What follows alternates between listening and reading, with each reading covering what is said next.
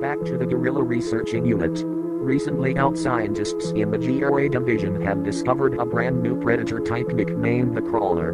Crawlers are the only species of predator to not have the ability to call in other predators and are one of the weakest of the bunch. Crawlers have sharp claws to get a better grip onto the ground and its prey when moving around. They can also climb up walls, as their claws are incredibly durable and sharp.